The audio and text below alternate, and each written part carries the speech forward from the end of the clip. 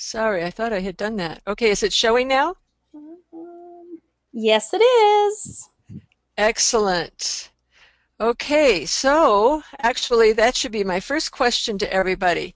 Can you see my screen? So uh, just type in yes, excellent, and you can hear me just fine. Yeah, excellent. Okay, thank you. Thank you for that quick feedback. So I'll start over again, and that is to let you know this is presented by um, the East West School of Planetary Herbology. I'm Lesley Tierra, and I'm going to be talking about tongue diagnosis and herbs today. Um, you all should be seeing this screen of beautiful tongues, three of them here. And uh, I hope nobody has a squeezy, queasy stomach because this is what we're going to be looking at all evening here for the next hour and a half. I suggest that you take a selfie of your tongue right now. Um, try to get in good light if you can, ideally not overhead light unless it's a halogen white light. Um, and try to stick it out far enough that the rear can be seen. As you can see this left tongue here, you can see the whole tongue. And um, sometimes there's a little yellowish cast, just a tiny bit here, not much on this middle picture. And um, so that's why if you don't have a camera where you can do a selfie, then get a mirror and a flashlight. That way you'll be able to look at your tongue while we're talking about this and start figuring out for yourself what's going on in your own body. All right, so I'm going to go ahead and get started here. Um, and just talk about how, first of all, tongue diagnosis has been used for a long time in China. Um, it dates back to 1341 at least um, in a book that was written, and that book was actually based in part on another book. So we don't really know how old it is, but it's many hundreds of years old, and as well, it's been used in traditional Ayurvedic medicine. I'm sure many other traditional medicines around the world have used tongue diagnosis. It's certainly been used in the West. In Greece, with the Greek humor system and continued up through the 1900s. I actually remember as a young child going to the doctor um, in the 1900s. Boy, that sounds old, doesn't it? and um, being asked to see my tongue, have me stick out my tongue, the old good old ah with the tongue depressor. And um, at that point, they were doctors were actually looking at more than just your tonsils in your throat. They were looking at the tongue um, as well, but it's really lost uh, usage. So uh, in Western medicine at this point. So I want to give everybody just a second here to get your pictures taken because um, I really want to dive in and I'm concerned about going too fast. Um, anybody have? Will you be here? Somebody's got a question. I will answer that. Will we be able to download the slides at some point? And no, not that I know of, but we are recording this. And we will put this up on our website with our archives, and there will be a way that you'll be able to see the recording afterwards. So you'll be able to take a look at the tongues at your leisure. And I was going to say this at the end, but I'll say this now as well. I highly recommend that after you finish this class tonight, you start looking at everybody's tongues and taking a ton of pictures.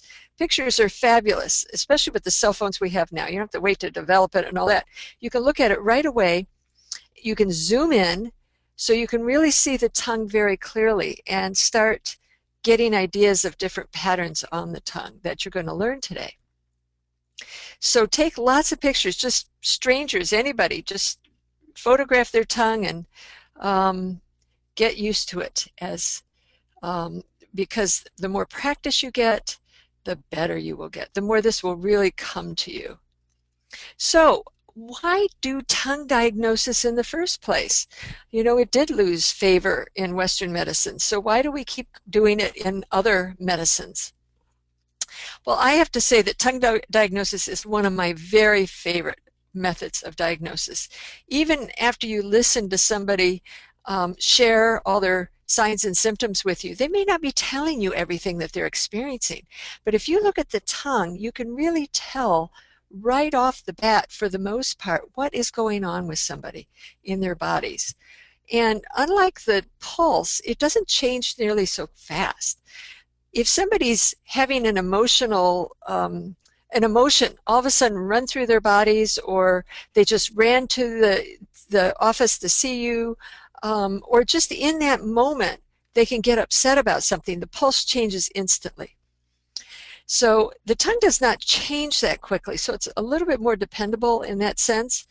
Um, however it does change enough that when you can you can see over time uh, your progress with treatment.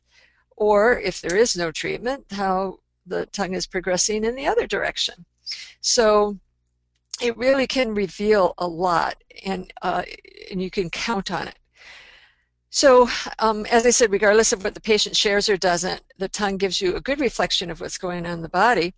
And as well, it helps you see what's developing in the body. In the ancient days, the um, physician to the emperor was not paid if the emperor was sick it wasn't like, you know, if we get sick, we go see the doctor, the acupuncturist, the herbalist, and get remedies. Instead, the physician, the physician's job was to keep the emperor well.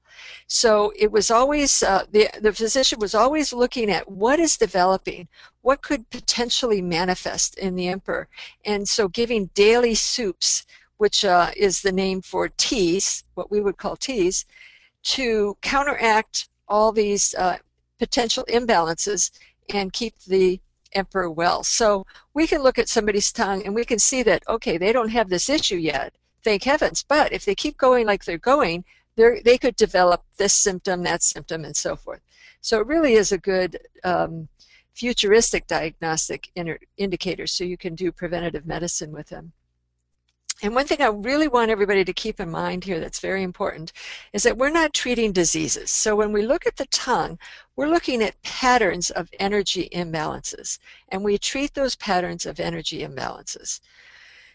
This has a tremendous advantage because a lot of diseases or conditions in Western medicine are quote unquote either incurable or they throw up their hands, they don't know what the problem is, or they tell you to go see a psychiatrist or a psychologist, usually a psychiatrist. In Chinese medicine, a lot of these strange symptoms actually form patterns, and when you treat the pattern, the symptoms go away. So that's another real definite advantage of doing this process of treatment. So I just want to say as we go on that this class is for uh, anybody it's not just for people who have had training in Chinese medicine. I'm really going to try to break the language down and so forth. So anyone who is just for the first time joining in can get this. And if you don't, go ahead and type in a question and uh, we'll try to catch it for you.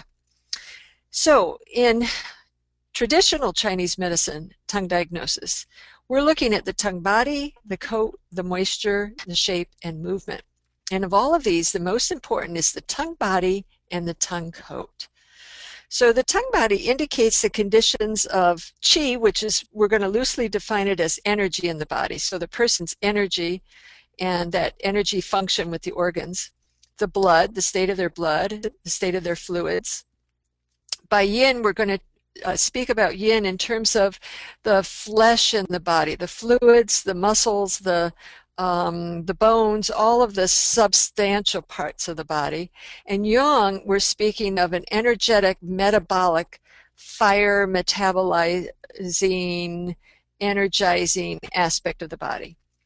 And then what are called the yin organs. And the yin organs are the vital organs. What we can't live without the heart, lungs, liver, spleen, or kidneys. Well, we can the spleen, but it's considered one of the yin organs. And so the tongue body also shows long-term pathological disharmonies and weaknesses. So in other words, it's more uh, showing chronic conditions that occur in the body. And it's very reliable as an underlying, uh, giving the underlying pattern of disharmony. The um, tongue coat shows more acute conditions. It's the uppermost layer on the tongue and it reflects the yang organs of the body. So these are the hollow organs, the small intestine, large intestine, gallbladder, stomach, and urinary bladder. It also shows the location of the disharmony, and as I said, acute pathologies. So we're looking at the tongue thickness or thinness, which will reflect excess or deficient states. Excess meaning there's too much of something, deficient meaning there's not enough of something. And overall, of course, indicates dampness or dryness in the body. So just keep in mind the tongue can change within an hour and, um, and even over days and months, of course, but it could change within an hour. I've seen it with an acupuncture treatment. I've seen within a half hour the tongue change. So we look at the tongue as a map of the whole body. The whole body is reflected on the tongue. And um, different parts of the tongue correspond to different organs. The front of the tongue, or the anterior portion of the tongue, the tip going back a third, is the upper part of the body and the upper organs. So we've got the lungs in the front, and the very tip is the heart. The middle of the body is the middle of the tongue, and in this case, it's including in the center the spleen and stomach, on the very edges is the liver, and on top of the sides is the gallbladder. And then the rear of the tongue, or the posterior, represents all the organs in the lower part of the body. So we've got the large and small intestines, the urinary bladder, uterus, and at the very root, the kidneys. So the sides of the tongue can also be divided up, even though they represent the liver. The front sides indicates also the chest area, the lungs, the heart, and the breasts the middle sides the spleen, and the rear sides the intestines. And here's a map of that. So I'm going to just stall here for a second. Maybe you can all just draw a really quick um, diagram of this for yourselves. So you really get an idea of what organs are where because as we go through these tongue sides slides, you're going to be seeing these um, coats, tongue coats in specific areas and you want to be able to identify them and then also other qualities that we're going to discuss. So the heart um, is the tip. I would actually move that, if I were to draw that diagram today, I would move it a little bit closer to the actual tip of the tongue. It's uh, taking up a little bit too much um, of that forward or um, anterior portion of the tongue. So you see how the liver is actually the very edges and the gallbladder is on the top and the edges. You have to kind of um, use your graphic imagination about that liver being the sides and um, the gallbladder the top sides. Okay, so inspecting the tongue. Now, this is really key because when you're inspecting the tongue, you want to make sure that you have a good quality light on it. If you use a typical flashlight, it has a yellow cast to it, and it will create a sort of yellowish look to the tongue, which might make you think that there's a yellow coat or yellowness, which has a particular reason um, indication to it. So, um, or if you have a very cold light, a bluish light, it could make the tongue look bluish purplish we want to separate all that out. So ideally you have a halogen light that would be um, pure white and really give you accurate reading. Um, sunlight works, but I would not take pictures directly in the sun. I would do it in the shade because the sun is too contrasty and you'll get shadows on the rear of the tongue. You won't be able to see it. If you're in the shade, you'll get a good quality full spectrum light and can see the whole tongue. So you want the person to stick their tongue out moderately far, not too far, or else the shape and the color are distorted. And if you do it too little, it's hard to assess, obviously. You won't be able to see it. Sometimes I tell people to say ah because they're used to that. Um, a lot of people are still from the doctors. Um, and you can get a pretty good look at the, the whole tongue doing that. Now, when you're assessing the tongue, there's a lot of things to look for. And the longer somebody takes, sticks their tongue out, the darker it gets. So you don't want them to have it out any more than 15 seconds max at a time.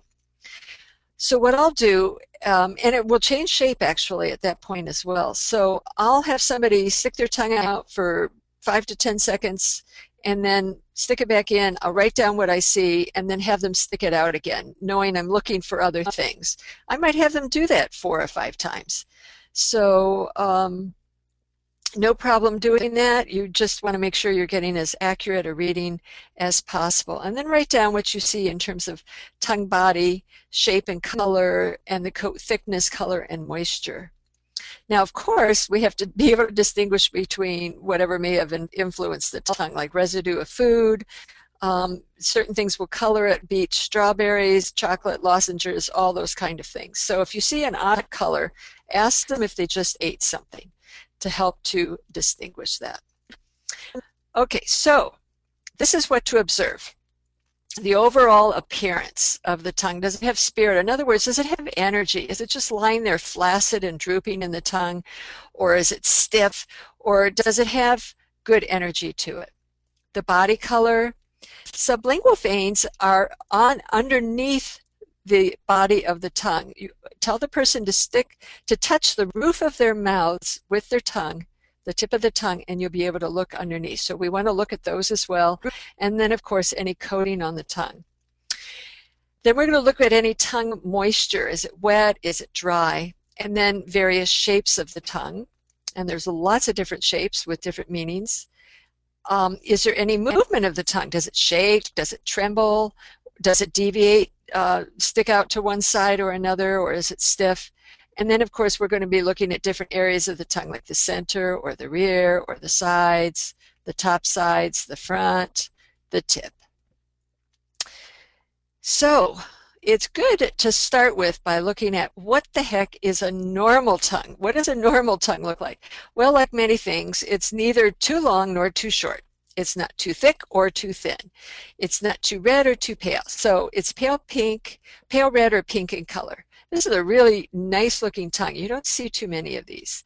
It's um, it has spirit. You know, there's a little a little moisture to it, but not too much. It's not cracked or creviced. Um, there's a thin white coat on it that's totally normal. Um, there are no sublingual veins, which we're not seeing here, of course, but um, just assume there aren't any. And um, everything is in balance. So in this case, you assume that all the organs are functioning well, and the digestion particularly is functioning uh, harmoniously. So we're going to start with the tongue body color. Now I'm dividing this webinar into two because I purposely don't want to go too fast. And so this is part one. We're going to cover the tongue body color and coat. Um, in part two, we'll get into tongue body shape and movement. Now, there's a lot you can get just from the tongue body color and the coat. So this, as I said before, it indicates the condition of the organs, the yin organs, and the qi blood fluids, and yin and yang of the whole body. So that's what we're going to look at first. This is a pale tongue. Now, I'm going to just show you real quickly, since we're so close. See, this is pale red, pink. This is pale. See the difference? So pale means several possibilities. It could be either, if there's a normal shape, shape and coat, it would mean there's not enough energy in the body. This could translate into things like tiredness, weakness or lack of appetite, um, uh, low immunity to colds and flus, um, frequent urination, just the, the, energy is weak. It's not holding um, and it's not uh, metabolizing well. If it's also thin, so if the tongue is pale and thin, it means there's not enough blood. So blood is one of the fluids of the body. And fluids help give substance. Um, if there's not enough fluids, then you're going to have thinness. You have less substance to fill out the flesh, to make it plump. And um, so it's going to be thin. If it's swollen, if it's pale and swollen, that means there's actually coldness in the body. We call it deficient yang because yang is that metabolic heat. And so we're, we have coldness, meaning there's not enough heat or metabolic fires in the body to metabolize fluids, so they collect and swell the tongue. Now, if it's a pale tongue and it's um, a bit, um, it may or may not be a bit swollen, but um, it's not too thin or too thick as this one is, then you have symptoms of, like I said, low energy, lethargy, could be shortness of breath, slow metabolism, frequent colds and flus, frequent urination, soft voice, all of these sorts of things. Um, I won't be lay, staying on each of these sites long enough for you to write all of this stuff down. I'm giving you a heads up, but you can see the show afterwards. It's being recorded and spend your time with it at that point. So in this case, we want to use herbs that actually tonify chi, that build the energy in the body. This is one of those um, categories of herbs that there is really no Western counterpart. We are starting to get, um, we do of course have adaptogens and restoratives in Chinese medicine, and some of these do tonify qi, but they're not always strong enough for what's needed. So I do include some Chinese herbs here in this case.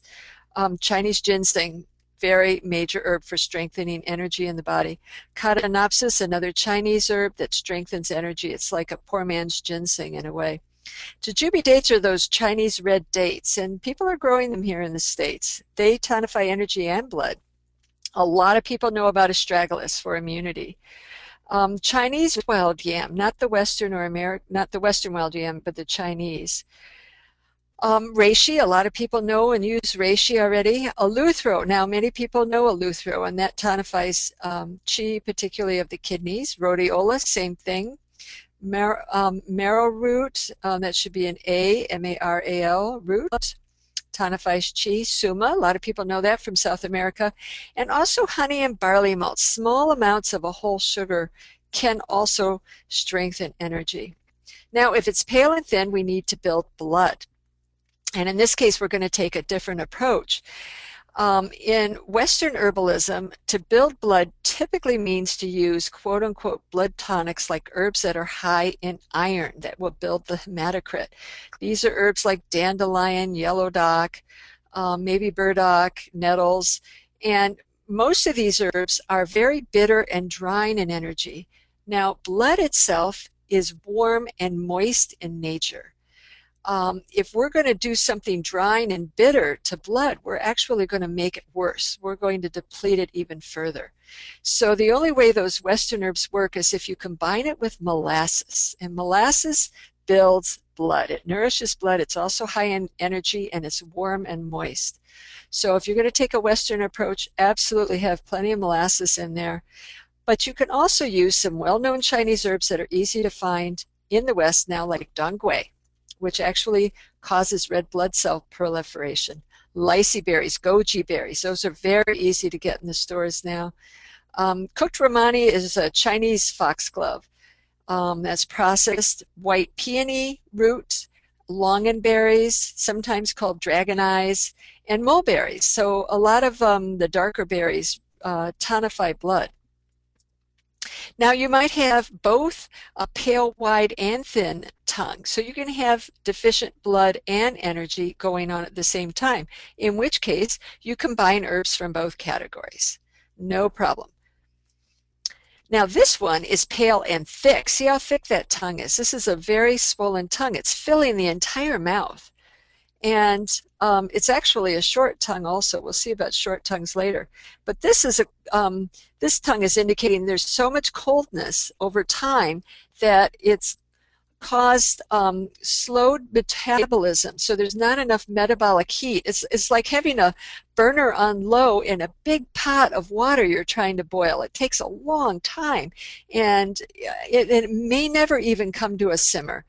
Um, depending on what you keep adding to that pot, if you keep putting in raw vegetables or a lot of salad or or iced drinks or things that are cold, it will never come to a boil. So you eventually get undigested food in the stools because it will not fully break down.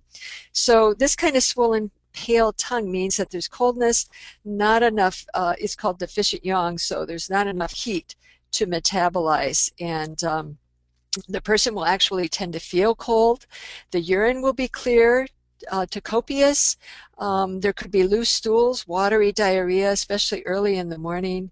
Um, the, the person might even look pale and frigid. Um, there could be impotence, infertility, nighttime urination, edema, so swelling in various parts of the body. And in this case, we need to warm the body up. We need to give stimulants, or as it's called in Chinese medicine, warm the interior herbs, and then also yang tonics. So stimulants are things like black pepper, dried ginger, uh, garlic, um, cinnamon bark, And the major um, herb for this is aconite. And this is processed prepared aconite, not Western aconite. These are all very hot herbs that warm the body and spark that yang. They help turn that burner up.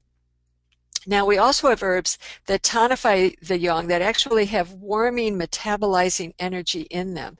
And teasel is one of them. Eucommia, rubber tree bark, ashwagandha, a lot of people are getting to know that Ayurvedic herb. Cordyceps, same thing for that Chinese herb. Damiana. Um, horny goatweed is also called um, epimedium. So a lot of people know that. And uh, fenugreek is a good one. So these are all yang tonics that could uh, potentially be used. Now, we have a red tongue. Look at the difference between that one and this one. This one's a red tongue. It's darker red than pale red. And anytime you see red, think of heat. So heat in the body is completely opposite than coldness. Everything is moving too fast. Heat moves things with it. It moves the chi, it moves the blood, it, move, it dries the fluids, and um, will move the tongue so somebody's more talkative. They're restless they're fidgety they can't sit straight in the in their seats. Um, they're throwing their clothes off because they're so hot they sweat real easily they have stronger body odors tend more, more toward irritation frustration um, uh, red eyes any kind of secretions excretions tend to be yellow to red in color. Um, and there might be burning sensations as well, and um, or red and swollen, uh, like inflammations. Uh, that's all heat. So we want to give herbs that clear heat. Alteratives, antiphlogistics, anti-inflammatories, antitoxins. We have a lot of those herbs in Western medicine that are extremely effective. Dandelion root and leaves, red clover, golden seal, yellow dock gentian, all of these, turmeric, sweet violet, we have a ton of them. And this is uh, really one of the um, highlights of the Western pharmacopoeia uh, are herbs that clear in this way. Now you can have heat just in one part of the body. And as you see here, this is the complete anterior or front of the tongue. This is the lungs and the heart. So we would say that there's heat in the lungs and the heart. So what you do is you use herbs that clear heat specifically in the lungs and the heart when you go to most herbals, you'll find that um, they will indicate not just what herbs do, but also that uh, where the energy of that herb goes. And if they don't actually delineate it saying lungs and heart, they'll say it treats pulmonary infections or it treats cardiac issues, and then you know, okay, lungs and heart. Um, so if you use an herb that cleared heat in the intestines, is that really going to help in the lungs and the heart? It might indirectly, but not, we want immediate uh, help in this case. Here we've got heat on the top sides of the tongue and the gallbladder. So again, we're going to use herbs that clear heat directly from the gallbladder in this case. Now, there's other types of ways of seeing heat. It's called raised papillae. And if you look at the this lower left part of the tongue, you can see how these are all raised from the body of the tongue. They actually kind of stick up. Um, easier to see over here on this left. So that includes, that is another sign of heat, and this tongue is more on the red side. And we call this wind heat. So it's a, it's a way of phrasing um, colds and flus, allergies, um, sinus infections, this is mostly, it's a little bit in the center of the tongue, but it's mainly in the front third, which is the lungs again. So the lungs relates to skin. There might be some skin conditions, itchy skin eruptions, uh, sweaty, swollen sore throat, colds and flus, that sort of thing. So we want to use diaphoretics, but we want to use diaphoretics with a cooling energy. In other words, uh, we don't want ginger in this case because it's warm and we've got heat. So we want to use an herb like mint. Um, it could be peppermint, it could be um, lemon balm. Uh, there are other other mints that treat colds and flus, and they have a cool energy, and that's exactly what we want in this case. Elder also comes in this category. Yarrow, um, if you're familiar with the Chinese herb pueraria, that's um, uh, the the root of uh, kuzu root or kudzu root from the south um, southern United States that's unprocessed. Chrysanthemum flowers, bone boneset, feverfew, and bupleurum is another Chinese Japanese herb that's used for uh, this these kind of external conditions. Now you can have a more extreme for, form of heat that we call fire. So if the tongue is red and the papillae themselves are also red, then you've got a stronger heat. The stronger the heat, the more we call it fire. So somebody can have heat, and if it's really red, like we saw the tongue with the anterior third back here, I'm going to show you this one again, that's more fire. So it's a really strong red. And in this case, we're going to use uh, stronger heat clearing herbs that are um, uh, internal as well. Now the mints absolutely work again for this because it's more in the anterior portion. We have a little bit back here, a little bit back here, but we can also use turmeric, dandelion, gardenia, echinacea. These herbs all fit this category for, for clearing this kind of, of uh, heat.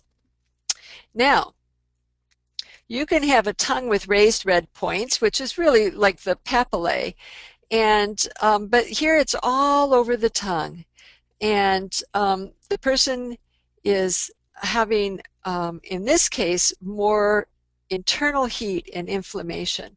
So it's um, heat toxins, we call it.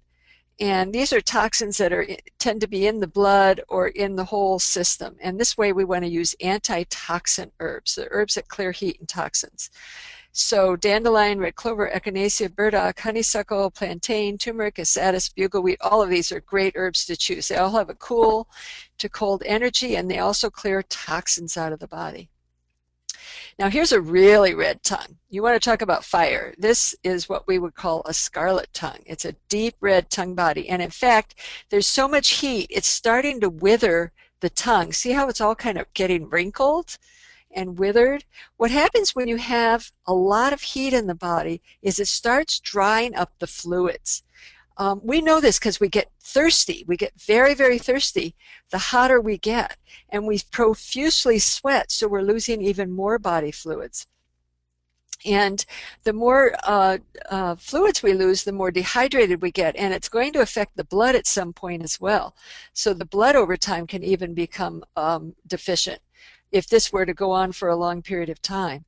So in this case, we want to use febrifuges, antiphlogistics, antipyretics. We want to use herbs that clear fire. They're cold herbs that are really going to clear fire. Gardenia, self-heal, which is prunella, pansy, uh, reedgrass, which is phragmites, and sweet violet are all really good choices in this category. So in extreme cases, yes, you can get delirium or, or a disturbed mind. It doesn't have to go that far, or even heat exhaustion. But um, uh, so it doesn't have to be acute, it could be chronic. But if, if somebody comes into you with this kind of tongue, they're probably going to have some more extreme symptoms. Now, this tongue looks pale, but it's also a little on the bluish side. See how it's kind of bluish in this whole area? And this is not the light. Look at the skin color. It's a good skin color. So you can even see the bluishness as compared to the skin color. Anytime you have a bluish or purplish discoloration, is we call it blood stasis. That means the blood is not circulating well.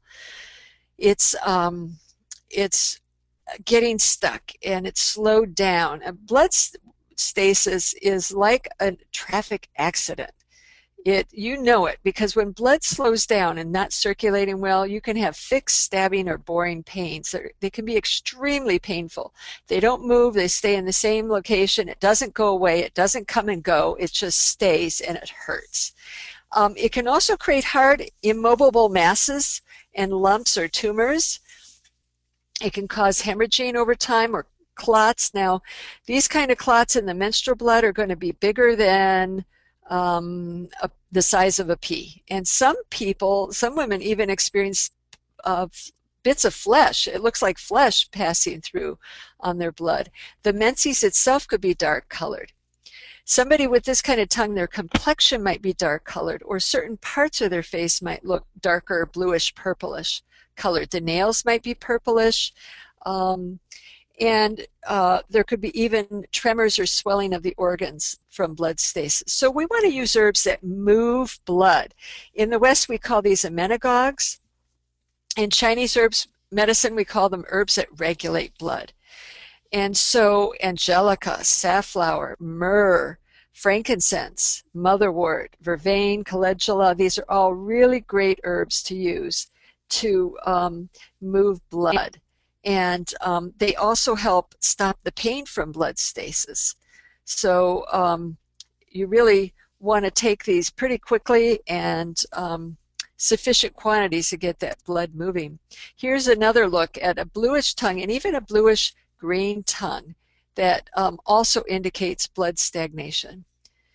And um, you can have blue and red together or purple and red together as in this tongue, in which case you have both blood stasis and heat. Look at how purple it is in the center of the tongue and more toward the rear of the tongue. And underneath this whole area, see, see all this purplishness? It's almost like you're seeing some veins. So um, that's all blood stasis. But the rest of the tongue is quite red. So you've got heat and blood stasis going on, in which case you combine both emmenagogues and alteratives, antiphlogistics, antitoxin herbs, all of those together. And here's some examples I've already mentioned to you. Now you could have a, a tongue that's not purplish overall but has a purple spot. Look at this purple uh, spot here on the edge. This is the liver. The edge right here is the liver. The top side here is the gallbladder. So this is really liver and gallbladder. Um, I'm trying to see just a hint of purple over here and here, not, um, but this is the major place. So you know that here it's mainly in the liver. Um, it's also the center of the tongue, so it could relate to the stomach and spleen as well, the organs in the middle part of the body. So you specifically want to use emmenagogues again that go to the liver and potentially the spleen and the stomach. And I'll clue you in, pretty much all herbs that move blood go to the liver. So that's handy. Now here are those sublingual veins I was telling you about. Somebody touches the tip of their tongue to the roof of their mouth and you can see right here it's in the lower part of the body. So this is the tip, this is the heart and lungs, the whole front, and this is the rear of the body and then this would be the middle. So these are extending up into the middle. So we would call this blood stasis in the lower and middle parts of the body. And the thicker they are and the darker purple they are, the more extreme the blood stasis is. So again, you're going to use herbs that regulate blood, particularly in the middle and lower parts of the body. So take a quick peek right now at your tongue picture or with a mirror and look at your tongue. I'm going to kind of glance at your any questions here and um, see if I can answer it. But but look at your tongue. Is it normal in color, or is it pale, or red, or purple, uh, or is there sublingual blood stasis? And uh, get a good idea about that for yourself. Remember, don't stick it out for longer than 15 seconds.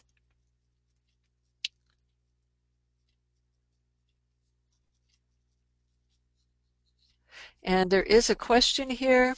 When you look at someone's tongue, does it make a difference if they brush their tongue before being read? Good question. Um, I find that it doesn't. Most, uh, sometimes a coat on a tongue will be scraped off by using uh, a toothbrush or a tongue scraper, but not always. So if somebody has done it, you can actually ask them. When you look at their tongue, you can actually ask, have you scraped your tongue this morning? Because some people do it automatically as just part of their tongue brushing or their teeth brushing routine. Um, so that will help you know if it looks like there may be a little coat and you're wondering if, if maybe there shouldn't be a little bit more according to their symptoms that will tell you that they may have scraped some of it off. It will also tell you it's a loose coat. We're going to get into coats next and that it can be scraped off. Um, or if they say they brush their tongue and they never can get the coat off then you know the coat is more rooted. Um, and that has its own indications as well. So um, Ideally, when somebody comes to see you, they don't brush their tongue, but if they do, don't worry about it. It's not failed, no problem. Um, and I'm going to see if we have any other questions I can answer right now. Yes, you do have information access to the information after the webinar. Um, okay, you've somebody has seen heat or fire, a little deep red, while the patient was cold all the time.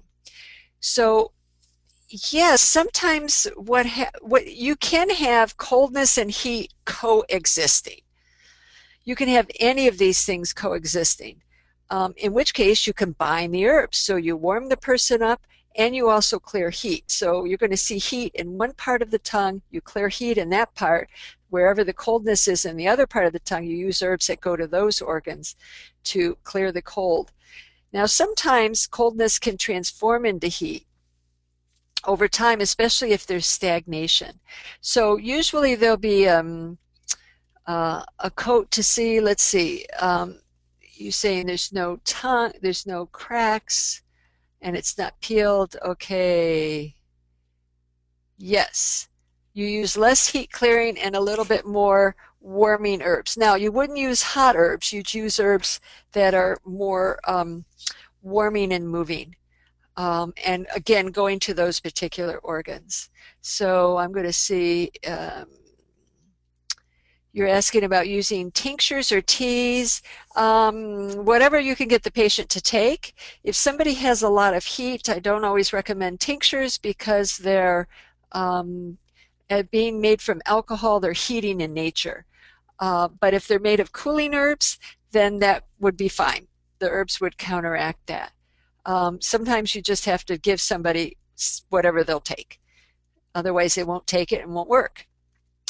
Um, yeah, lemons and so forth, unless the person has a reaction to it, uh, ideally you look at the tongue no closer than a half hour or an hour after somebody's eaten. So that would take care of any food reactions. Um, what is the line in the center, tip of tongue and center? Oh, that must have been about a particular slide. Sorry, I'm not there anymore. Um, okay, if you have heatness and dryness, you clear heat and you use moistening herbs. You can use cooling moistening herbs. Marshmallows are a really good one in this case because um, it's cooling and moistening and anti-inflammatory. Okay, so I think that's good for now. You've all looked at your tongues. You've got a good idea of what's going on. I'll look at more questions later, take more questions later. But let's move on to the tongue coat. So the tongue coat, as I said before, shows the state of the yang organs. These are the less vital or hollow organs of the body, the location of the disharmony, and um, more acute pathologies, although of course it's present during chronic illness as well. And it's going to indicate excess or deficient states and the overall state of dampness or dryness in the body. So we can have a thin white coat. And a thin white coat can be completely normal. See how you see most of the tongue body through the coat? It's so uh, thin that you hardly even know that there's a coat there. Um, and white coats quite often you can't always see that there's a coat there if especially if it's thin so it could be normal if it's not normal in other words if people somebody's having symptoms and so forth typically it means either there's coldness in the body or there's uh, an invasion of what we call wind chill so in other words it's a cold or flu due to coldness in which case the person's going to be shivering have higher chills lower fever um, runny nose, no sweating, no body odors, dull headache. Um, they might have a sore throat, but it's going to be very dull. They might be sneezing, body aches, that kind of thing. Um, they want to be covered up all the time. Or if they have internal coldness, then it's a lot of the things we talked about earlier with coldness the loose stools, no, no appetite, clear urination, uh, and so forth. So if we have um, wind chill, we want to use uh, warming diaphoretics. And warming diaphoretics are herbs that cause a sweat and um, uh, but have a warm energy. So here's where you'd use fresh ginger. You don't want to use mint or elder. They're, they're cooling. We want to use warming herbs. So fresh ginger, osha, lovage, angelica, scallion, sage, hyssop. These are all um, good herbs to use in this case. Oops, I went the wrong direction. So here we have a thicker white coat. See how it's thicker where you, in some places you don't even see the tongue very well through the coat because it's thicker. So the thicker the, the white coat, that means there's not, the energy in the body is not as strong because it's not metabolizing fluids as well. And they're starting to collect in the body, and in this case, collect on the tongue as well. So we call that dampness. It's starting to create some dampness in the body. And these are signs, again, a lot of these are signs of, of insufficient energy in the body, but you also have, if there's dampness, feelings of heaviness. Um, the arms and legs especially might feel heavy. If, if there's heaviness there, there might be edema or swelling in the arms or legs. There could be heaviness, a feeling of heaviness in the abdomen, and the abdomen might may or may not be swollen, feeling of heaviness in the head, in which case you'd have more of a stuffy nose or chronic running nose uh, and that sort of thing. So here we want to use herbs that help get rid of dampness. We want to tonify qi. We want to help provide the body more energy to metabolize. Diuretics that help shed fluids, um, especially if there's edema and swelling. And stomachics, herbs that help digestion, so we can really metabolize food and fluids and the um, prevent the dampness from collecting. Here are all possibilities, Tonify Chi, Reishi, Eleuthero, Astragalus, and so forth. Some of these uh, we had before. Uh, diuretics, you could use Fu Ling, Chinese herb Poria cocos or Hoelen is another herb for that, name for that herb, uh, or nettles. And stomachics are, they're aromatic herbs that uh, help digestion. So clove, patchouli, uh, cardamom, these are all herbs in that category. Now, see the, see the difference? White coat, yellow coat.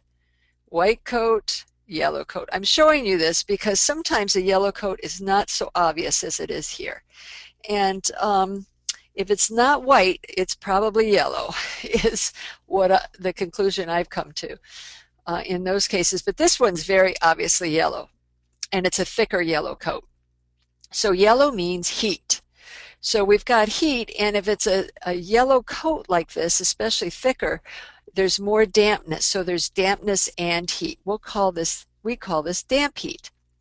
So again, there could be feelings of heaviness, but there could be a bitter taste in the mouth because of that heat in the body. The person might be thirsty because of the heat, but because there's dampness, they only want to drink in small sips. The urine might be scanty because of the heat, but it's going to tend to be dark yellow and possibly with burning. There could be a yellow vaginal discharge and itching and odor, and the stool would have a stronger odor. These are all some of the signs of damp heat. In this case, we want to use the typical Western, what we call bitter tonic herbs. These are all herbs that are cooling in energy and bitter in taste, and they dry, damp heat. We have a lot of these in the Western Materia Medica. It's fabulous. All of the yellows are in this category. All the berberine herbs, golden seal, barberry, yellow dock, gentian, chaparral, coptis uh, Chinese herb, and then greater celandine also is a good one. So these are the kind of herbs you take if there's damp heat in the body um, rather than that earlier case we talked about with um, deficient blood. And this is a really thick yellow coat. Um, the thicker the coat you have, and this is so thick you can't see the tongue through it at all. It could be white or yellow. When it gets this thick, we say that there's also food stagnation in the body. In other words, food is not being fully digested and metabolized. So it's starting to collect in the body. In Ayurvedic medicine, we call this ama. And it becomes a toxic substance that prevents and blocks the flow of chi blood and fluids. So as you can imagine, it sets up all kinds of uh, health, potential health problems. There'll be more pronounced symptoms of heaviness, and you can see this tongue's a bit on the swollen side as well. So that's also reflecting, in terms of the tongue body, the um, um, dampness that's collecting in the body. A lot of the same uh, symptoms we talked about, but when you have a thicker coat, you tend to have things like cysts or, or uh, nodules form. And they may be internal, might be fibroids or cysts, it might be um, in the channels um, undetected, uh, which could eventually block the flow and create um, arthritic, rheumatic issues, or uh, even tremors. Um, so not our friend, not what we want to have. Here we definitely want to use those bitter tonics again and possibly expectorants, especially the more we see in the upper part of the body, in the lung area, we can use expectorants. They can also help us dissolve this, this what we call hot phlegm or phlegm with heat. So phlegm is when dampness has consolidated and condensed. And it's condensed because it's not circulating, and if there's heat, it's drying the fluids, so it's condensing even further. So we need some digestive herbs to help move that food stagnation. These are things like hawthorn berries and radish seeds, sprouted rice, or barley. Sprouted barley could be in this category too. Or expectorants with a cool energy, cooling expectorants loquat, horehound, mullein, elderberry, these sorts of herbs, all clear um, phlegm that has uh, that's heat as well. Now, it's possible to get a brown or black coat on the tongue, um, or even a gray coat. This is kind of startling. I've only seen this maybe twice in over 30 years, 33 years. Um, and it means that there's either extreme heat or cold. When I first saw this, it was a woman who had um, what we call lack of fluids in the body or deficient yin. I'm going to show you that tongue pretty soon here. And so there's not enough fluids in the body. Uh, she's experiencing dryness and so forth, and she started having what were probably food poisoning um, symptoms and she thought she needed to cleanse her intestines, so she took golden seal. Now, golden seal is very bitter and dry. It's one of those bitter tonics we talked about earlier, and it dries fluids and blood. So she actually caused a more extreme condition of her uh, situation of deficient fluids, and she came in with a black coat on her tongue. So this can be cleared, this can be treated. Um, here we have long-standing heat because the tongue is red and it's getting more narrow toward the tip. See how it's more narrow here? The more narrow a tongue gets, the more the heat is consuming fluids. So it should be rounded out all the way around and it's not. So um, here we have more extreme heat that's going on. And um, if you have that, then you, of course, need alteratives, anti-inflammatories, anti-phlogistics, that sorts of things. If you have extreme cold, which we don't here, you'd be using the stimulants and tonify yang herbs. Now here's a sign of heat consuming body fluids. You see how dry this coat is? You can almost see individual flakes of the coat and it's quite dry. So the heat is starting to dry this up and that means it's drying up the fluids in the body too and see how we have we've got some raised papillae here and it's all red and how the tongue is red here so that's why we're saying here we've got heat consuming the body fluids. And in time, this could become what we call fire or extreme heat. So you want to use those good old herbs that are cold or cool in energy and that um, are either clear damp heat or toxins or um, um, cool the body down, febrifuges. Um, so dandelion, gardenia, self-heal, pansy, all these great herbs. Baptisia is another good one, borage they have that um, really good cool, cold or cool energy to cool the body down. Here is a wet coat, and it's just not the shininess from the light, but see how wet it is? It's very moist. Some people actually can drip, their tongue can drip, or you'll see frothy, a frothy coat, or bubbles on the tongue. That means there's dampness. And of course, dampness arises from an accumulation of fluids, too many fluids in the body, and usually that occurs because there's not enough energy to metabolize the fluids.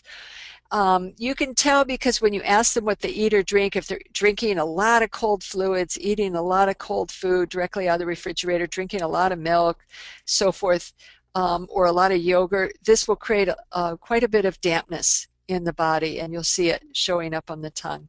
Or the person might be having those feelings of heaviness, loose stools, oozing skin eruptions, edema, um, heavy stiff joints, nausea, these are all signs of dampness. So here we want to use both the category of herbs diuretics as well as aromatic stomachics. We've talked about both of these before.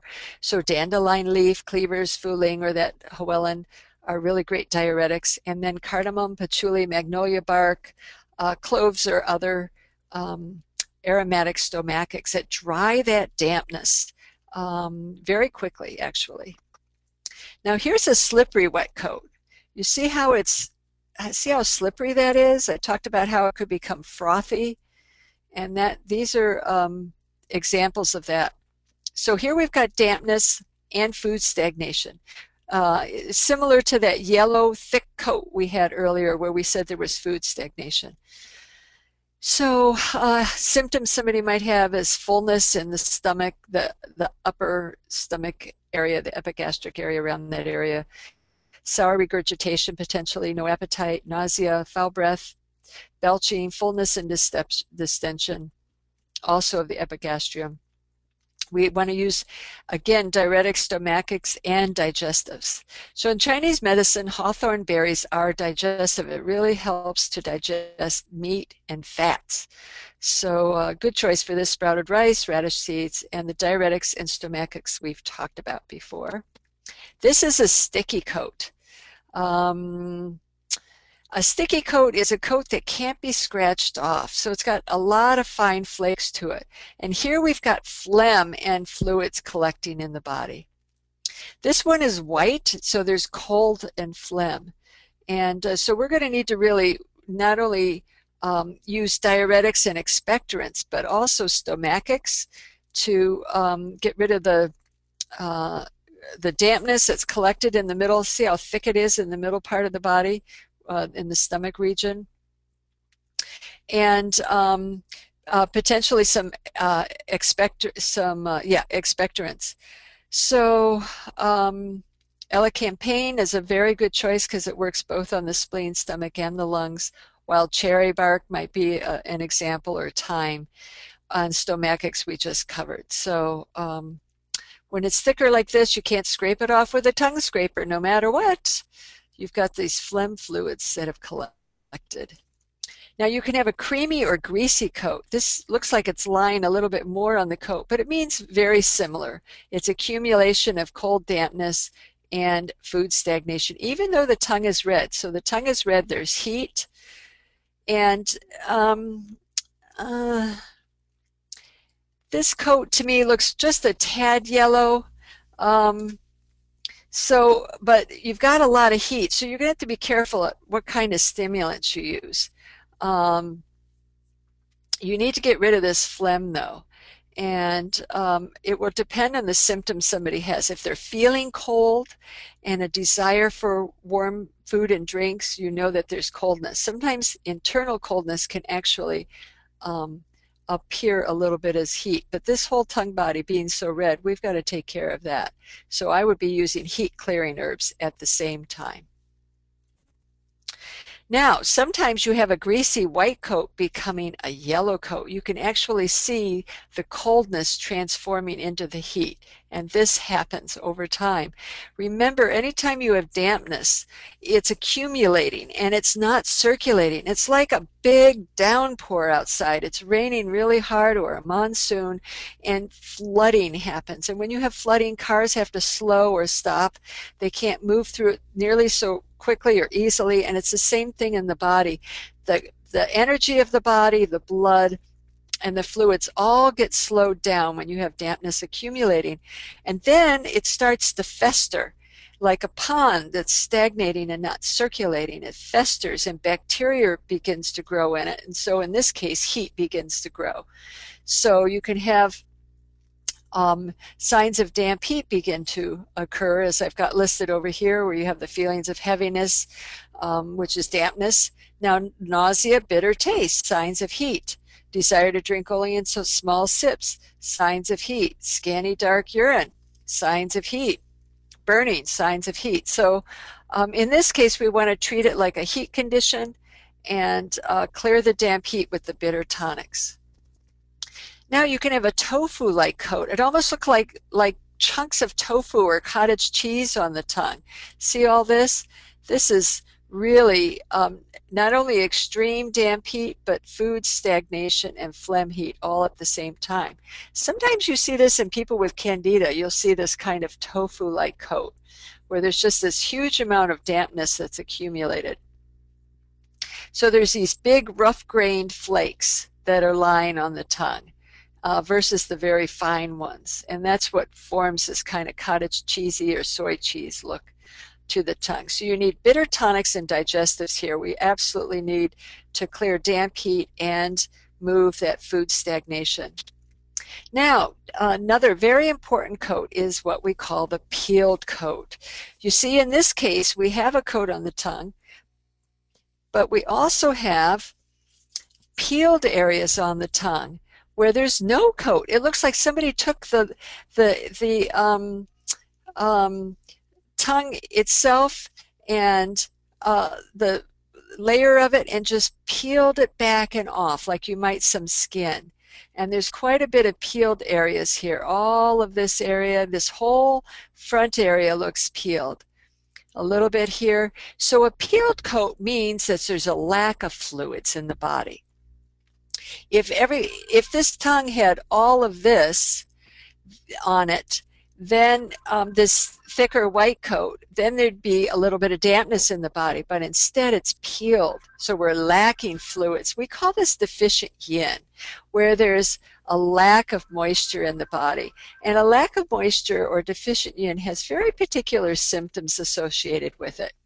The person gets hot in the late afternoon, evening, or nighttime not during the day, but when it starts getting dark outside, we have the yin time of day coming in when the yin should be abundant and flourishing. It's like you, you get a little bit of dew on the grass, the moisture in the air. And instead, we're lacking it, so we feel hotter during these times.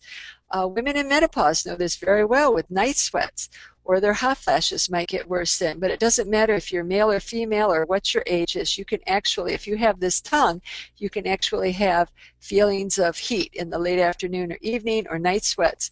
Also, malar flush, where the cheeks are burning or red. Not the whole face or neck, but just the cheeks are burning and red. There might be a sensation of burning in the soles of the feet and uh, palms of the hands and or the chest. It might be a, just one of those or a combination of those. I've even had people come into me and say they feel like they're standing on something hot and they move their foot and there's nothing. There's nothing hot there at all. They're just standing on regular concrete, but they're having the burning sensation in their foot. That's a sign of this lack of, of body fluids. Um, that's occurring. The, the sleep is sort of a restless floating sleep. The throat is dry at night.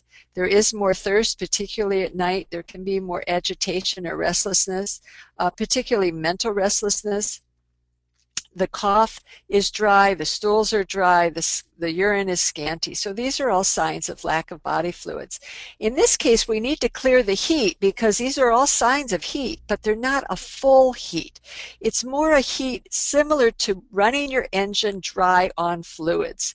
You've run it out of oil or any other kind of lubricant that's needed for the engine, and the engine starts burning out. It's very similar in the body. Not enough fluids in the body, the body begins to burn burnout.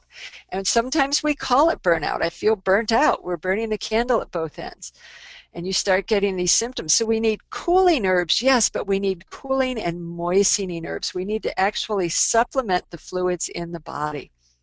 So here we use demulcents, things like slippery elm and marshmallow. They're both cooling. Um, but they're moistening also. Or we can use the demulcent febrifuges. These are herbs that are that clear heat or higher heat. Figwort, uh, scrophularia um, comes under this category. And in Chinese medicine, we have a category of herbs called yin tonics. These are herbs that actually tonify body fluids, that build body fluids and um, strengthen the organ function at the same time. So Japanese turf lily is one of them. It's Ophiopogon. Um, sometimes it's called mondo grass. It's an ornamental sold in a lot of um, uh, nurseries. Shatavari, this is Ayurvedic um, uh, form of uh, wild asparagus root or Chinese asparagus root, both of which are not the same as Western regular grow and eat asparagus root, so don't use that. Privet berries, Eclipta and turtle shell. These are all really great herbs that treat this peeled coat. Now you can also have a peeled coat with thorns and you can see them here in the back. And when you start having thorns, remember thorns um, or raised papillae we would see in the front of the tongue in past pictures? That means heat. So in this case, we not only have this peeled coat, which you can just kind of see where it got peeled off right here, all of this, and it's red underneath, we have these thorns. So there's more extreme heat, which again we call fire. So in this case, we not only have yin deficiency, but fire as well. And we need to really clear this heat, nourish the yin, and target the kidney area, because remember the kidneys are in this lower part of the body here. So um, a lot of those herbs I just mentioned to you are very appropriate for doing just that. And these are the symptoms. Um, not only would you have some of those um, deficient yin symptoms or lack of body fluid symptoms, but you could have tinnitus, and this is sort of a whooshing sound in the ears. The bone, you can have an ache in the bone. You might even have what's called steaming bone, where it feels like steam is floating up from deep in the bones toward the surface of the skin uh, low sperm count, weak sore back. These are um, a lot of these are signs of the kidneys, uh, deficient kidneys. Okay, so take out your tongue picture again, uh, your tongue photo, your mirror, and your flashlight, and look at your the coat on your tongue and examine the color of the coat, the thinness or the thickness of the coat. Is the coat damp, dry, greasy, sticky, wet, slippery, tofu-like? Or do you have the presence of a peeled coat? And while you're looking at your tongue, I'm going to go through some of your questions again. And um, somebody wants to know how to access the webinar materials. If you signed up for the webinar, then you will be sent, uh, you should be sent, I believe, an email that will give you a link to it. Um, can someone with food stagnation or hot phlegm show signs of acid reflux? Absolutely. When you have food stagnation or even dampness that's collecting and accumulating in the stomach region, it slows down again the circulation of energy and it can make things go up instead of down. When we digest food, it's supposed to go down to the intestines and get absorbed or sent out as uh, dross. In this case, energy is going up so you can get acid reflux. Um, uh, somebody has some cracks in the tongue. Okay, so cracks in general is part of body shape, which is going to be in part two, but I'll let you know that cracks mean a depletion of body fluids. So it's the beginning of, of a deficiency of the yin that we were just talking about, like the peeled tongue coat. And you may or may not have peel, uh, a peeled tongue coat. So somebody was asking about the herbs for kidney fire, and I'm going to put them on right here while you're looking at your tongues. Um, you have questions, keep sending them my way. What do you have? A, a wet tongue with a white coat, but peeled in the rear. Oh, this is a fun combination because you have dampness and coldness from the white coat and the wet coat. So the wet coat means there's dampness, the white coat means there's coldness, possibly qi deficiency, but in the rear of the tongue where it's peeled, you have kidney yin deficiency. And absolutely you can have this combination. And it's a, trickier to treat as well you can imagine because herbs that clear dampness are going to dry the body fluids for the kidneys and herbs that moisten the body fluids for the kidneys are going to create more dampness in the spleen um, what's basically happening is the spleen metabolism, um, and I'm backing up for a second, spleen and stomach are a partnered unit in Chinese medicine, and they're both in charge of proper digestion and transformation of food and fluids, so metabolism. So if you have accumulation in fluids affecting your digestion, you're going to show the accumulation of fluids and you're not going to be digesting and assimilating well so those um, uh, you're not going to be sending nutrients to the kidneys um, in this case, and so they're going to be showing deficiency.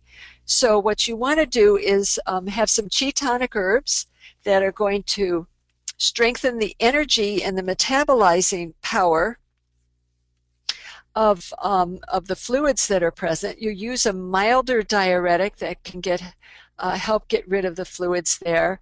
Um, you could use maybe a little bit of say um, uh, cardamom, maybe just a pinch, really a very tiny amount. But I would focus more on diuretics and um, chi tonics. And then you could add in a little bit of herb that nourishes the, the fluids in the kidney area, like shatavari, um, Chinese asparagus root, um, turtle shell. But um, you'd have them all in ratio and balance with one another to make sure you're digesting it and it doesn't create more dampness. So great questions coming my way. And I think that's pretty much what I'm going to take now. We have 15 minutes, so let's focus on questions. Um, what do you do if a person has lots of damp signs but also a dry mouth at night? Ah, this definitely happens because, again, dampness is collecting, accumulating, and not flowing in other areas. You can get that cottony mouth. So if it's dry, particularly at night, then you're getting a little bit in the category that somebody was just asking me about having dampness and white on the coat and yet a peeled root. So I would do the same thing. I would be using um, chi tonics and um, along with herbs that um, uh, clear the dampness, but that also um, nourish the yin a little bit. And um, diet is so key here because people who are eating a lot of damp foods can create this problem right away. And what are damp foods? Flour products, all flour products. Doesn't matter if it's whole grain, stone ground, organic, what it is, it's flour and water, and flour and water make paste. Dairy, very dampening. Doesn't matter if it's the best yogurt in the world, it's very dampening. Anything cold, so anything eaten directly out of the refrigerator, ice drinks, cold milk, juice, um, it's cold and it douses digestive fires and creates dampness. Raw foods, too many raw foods create dampness. So um, you want a diet that's more warming and metabolizing cooked food, um, some spices with food, and um, that's going to help take care of um, some of those signs as well. Drinking water can help disperse the dampness to a certain extent and um, uh, take care of that. Okay. Um, have I ever seen the combination of a green and yellow tongue? Um, so you're talking about sort of that blue-green tongue, uh, like the blood stasis with the yellow coat? Yes, that's very possible. I'm assuming that, that that's what you mean. Um, I've never seen a green coat. Um, if you're thinking of a green-yellow coat, it's probably the light, so the yellow coat looks greenish. I would treat it like a yellow coat. Um, if you have a mix of heat, cold dots, peeling redness, and white coat, where do you start? So a lot of you are are um, having this combination of cold and heat, and you know what? This is the real world. I just jump for joy when somebody comes in and it's a clear, pale, cold, swollen tongue. It's so clear because you know exactly what to do. But typically, and most often, you have combinations of things. So yes, you combine herbs for them. Where is the peeling redness? Where are where is the white coat? You know, which organs are involved? So um, what's the predominance? If you've got both going on, is there a little bit of white coat and a lot of peeling or a lot of white coat and a tiny bit of peeling? That will show you the ratio of the two together and which to focus on the most. Um, your coat has a min your tongue has a minimal coat, some blue and purple with a crack going down the center. Okay, so minimal coat. Uh, you didn't say what the color was. Let's assume it was a thin white coat, which is normal. So we're not going to consider the coat in this case. But you've got some blue and purple.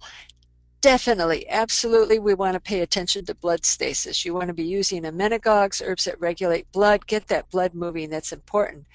A crack down the center can mean several things. If it's down the center of the tongue, in the center center of the tongue, then there means that means that there's deficient energy in the spleen and the stomach. So you want to use some spleen ch- stomach chi tonics. If the crack goes all the way toward the tip, that means there's some constitutional heart weakness, which may or may not show up symptomatically. And again, that's in part two. I'm going to be wetting your tongue, so to speak, to attend part two of this webinar, which will be sometime in the fall, probably the early fall. Um, what if the tongue is very firm and hard to see, but definitely not peeled?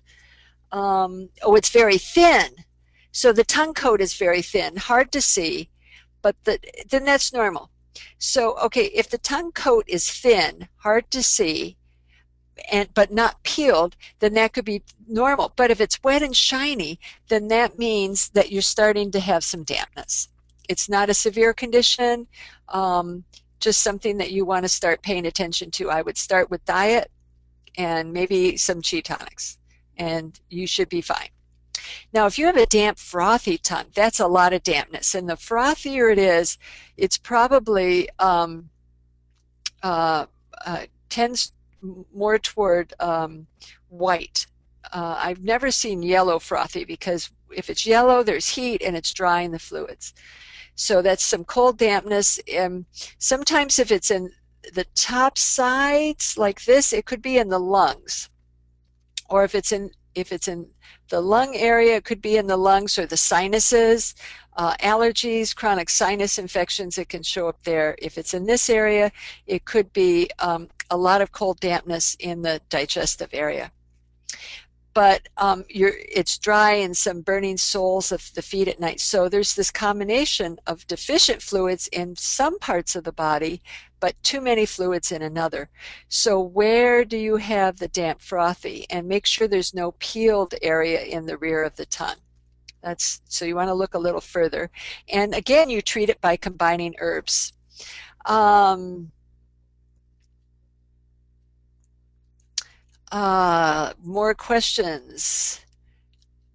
Uh, meaning of a thick coat at the rear of the tongue. That's damp heat and potentially uh, food stagnation in the intestines. So um, could be large intestines, small intestines. There probably is a tendency toward either constipation or um, loose stools that are uh, have a lot of odor and and color to them, yellowish color to them. Um, now remember, if you've got a thick coat in the rear of the tongue, we're talking the thicker it is, the more fluids there are congealing. A yin deficient tongue means there's not enough fluids, so you're not going to have both in the same place. You can have a thick coat and red spots both in the rear of the tongue. The red spots means there's heat. So this tongue, this this tongue has a yellow coat in the center and red spots in the rear. But look at a tongue that's not peeled, and it can have a yellow coat in the rear and red spots. So the red spots are going to mean uh, either heat in the blood or toxic heat, as well as the damp heat. So you want to use anti um, toxin herbs, heat toxin herbs like um, dandelion, echinacea, um, red clover, as well as damp heat herbs, which would be barberry, Oregon grape, turmeric, um, those kind of herbs, those bitters. Spots on the tongue considered normal if they are not raised and the body of the tongue looks normal. Um, if they're red spots, um, then that's heat. And it's heat, it's probably a toxic heat. So non raised red spots would be a toxic heat. I've never seen white spots actually um, all, unless it's a wart. Sometimes there's warts on the tongue, and um, and that would be that would be different. That would uh, a lot of times warts uh, form from heat, congealing fluids, so it's like almost a little cyst from that.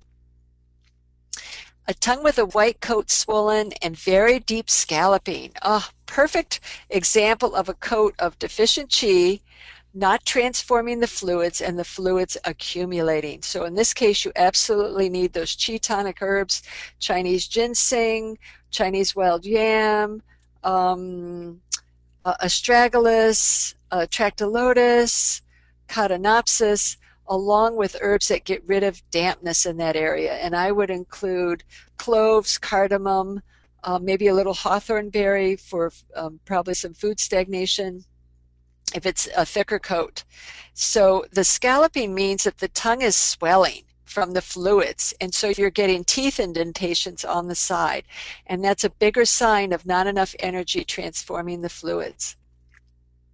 You're seeing what looks like a blue coat in the center back of your tongue. Um, it, yeah, I've never seen a blue coat, black, brown, gray, not blue. Um, it could be the lighting, it could be from something that you ate um, a while back that colored your tongue. Um, but if you think it's red purple, then that definitely would be heat with blood stasis. Ah, you have a thin white clear coat, that's fine, but red like fire heat, tip of the tongue, and the center line is fire red. Okay, so center line, I don't know if, if it's center line here, it would be stomach fire. If it's center line here in the front, it's going to be um, lung fire. If it's uh, if the line is closer to the tip, then it's going to be heart fire. But you say definitely there's redness at the tip of the tongue. Redness at the tip of the tongue is either heart fire, and sometimes it can mean depression or emotional issues. Um, there may not even be any physical symptoms. It could just be long-term unresolved emotional issues. So you all are asking me questions about uh, tongue shape, and there's a lot more that we haven't covered that we will get into. Whetting your appetite again. Um, Susie says sometimes a frothy tongue can mean dehydration they haven't been drinking enough fluids. Um, sometimes that can happen. What I would do if there's no other obvious um, cause, like the tongue is not real swollen, it's not thick, white, and frothy, it's just plain frothy, I would have the person drink more fluids and see if that took that away. Because again, sometimes to get rid of that dampness, you have to moisten it to help it uh, disperse. And then um, possibly a little chi uh, tonic as well. Okay, if there are any stones present, what should be expected on the tongue? Typically, stones um, indicate damp heat. So you'll probably gallbladder, you probably have damp, you have a yellow coat on the top side of the tongue. You might have it in the middle as well or the rear. Um, if the stone in the kidney is from fire, you're going to have more exactly this kind of coat, potentially a peeled coat, um, or be redder with thorns in the rear of the tongue. Um, damp with food stagnation, what should be included in the diet? Uh, more drying foods. So grains are more drying, protein is more drying, cooked vegetables. Um, those are all more drying balanced foods. That's what I would do. But it's not just what include, it's also what exclude, which I know I already talked about. You got lots of great questions here. Medium-sized raised red nodes at the very rear of the tongue. Sometimes those mean yin deficiency. You don't see them here, but you can have raised red nodes in the rear here. Um, I would want to know more about the rest of the tongue and also the signs and symptoms to determine if it really is a lack of body fluids. If it's in somebody who tends to burn out, that's probably that deficient fluids.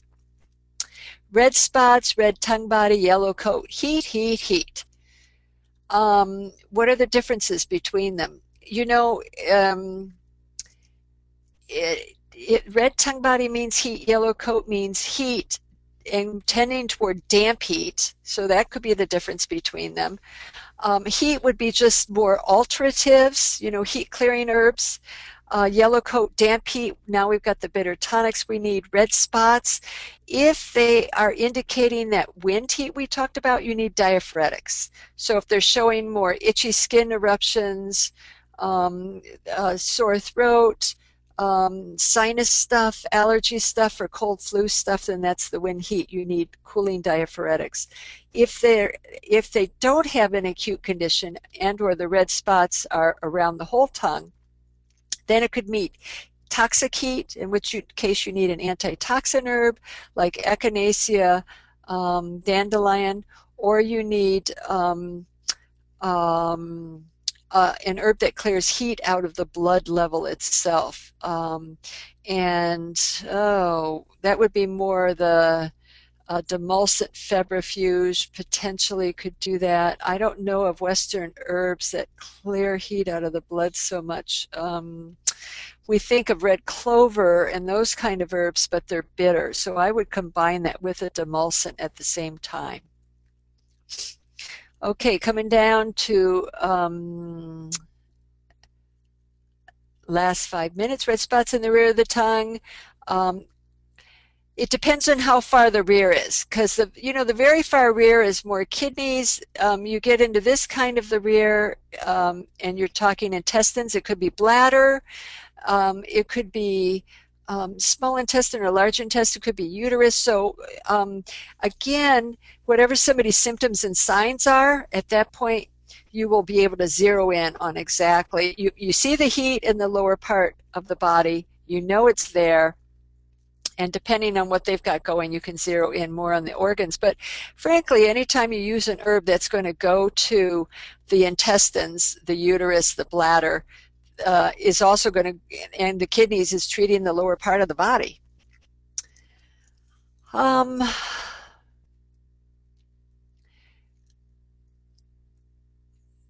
okay, so a tongue is dry in the rear but moist at the tip. So there might be more moisture collecting in the upper part of the body and more dryness of body fluids in the kidneys or the intestines. Um, which books are best for quick reference of herbs uh, with direction to organs? Oh, I love that question because Michael's uh, Way of Herbs absolutely does that. My book, Healing with the Herbs of Life, does that.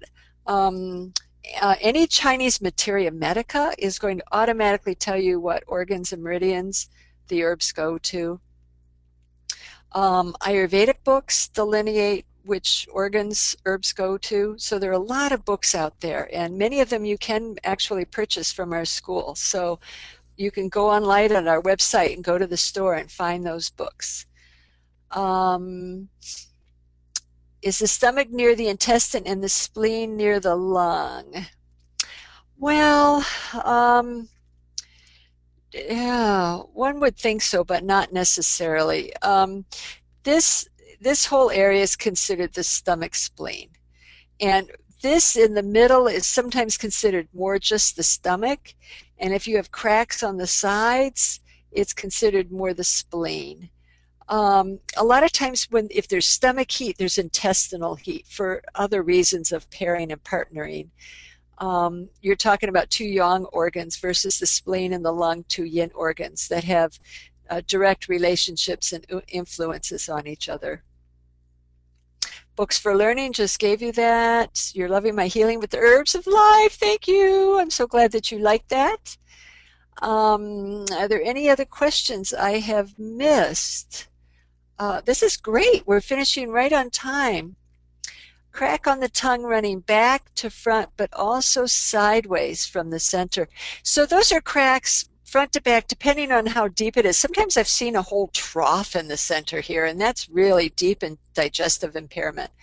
Um, I mean, it looks like you could run a bowling ball down this alley here for some people, and that's extreme deficiency at that point. Um, metabolic energy is very low, but you can have cracks go off to the sides also. So you're having a depletion of body uh, body fluids occur at the same time. So um, I think I have answered all of your questions. Oh, this is perfect. So I just want to let you all know again um, that we're taping this and going to have a link to it so you can go over this at your own rate and pace. Um, I'm going to be doing part two in the fall where we're going to get into the nitty gritty about cracks and narrow tongues and short tongues and long tongues and um, different tip shapes and curled under tips and curled up tips and curled sides and um, cracks and all that good stuff. So, uh, and then also deviated tongues and things like that. We'll get into um, uh, and it will probably be in the um, September is what I'm thinking about right now, so in the fall. In the meantime, I encourage all of you take pictures of tongues, look at a lot of tongues, really focus in on the tongue body and the tongue coat because they are the most important. And get familiar with the areas of the tongue where the organs are, where, where the coat is. It's not just the coat itself, but where is it? Because remember, it's indicating a particular pathology in a particular location. And um, the same thing about a peeled coat or um, shiny, wet, thick coats, um, or just the color of the tongue, different colors, uh, the purple, look at the sublingual veins underneath. Really become familiar with all of that. And you'll just be amazed at how much it helps you. And you can actually see tongues on um, TV and in movies. I'm diagnosing tongues all the time that way. so that can be really fun and um, give you a lot more experience. So um, when you see people talking, you'll notice their tongues quite a bit, and you'll just start getting insight about what's what problems they have, or what they might develop, or what herbs you might start putting together to help them. And definitely try putting together a formula for yourself and what you noticed on your own tongue, and see how it affects you. See how your tongue changes. Tweak it if you need to. Um, to put a little bit more of this or a little less of that or add something else to it and until you get your tongue back to that really nice um, light red pale uh, or, or, pink pale red um, very thin white coat normal looking tongue so um, I wish you all the best in your tongue diagnosis forays this summer and uh, look forward to you at our next webinar. Take care, everyone. Good night.